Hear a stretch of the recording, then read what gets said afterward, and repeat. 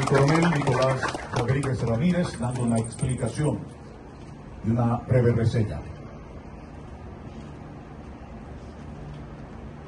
El 15 de marzo de 1844,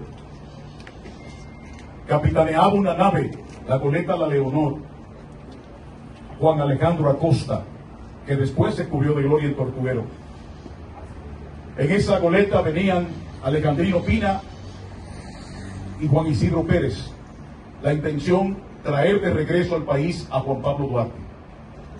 Y digo eso porque ese 15 de marzo por primera vez ondeó en el mar de los Caribes nuestra enseña tricolor.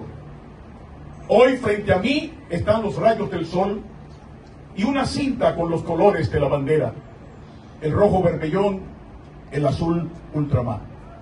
Y como ellos se pasearon por el mar de los Caribes, el mayor general Celín Rubio Terrero invita ahora a su plana mayor y a los invitados especiales a pasearse para develar la taja.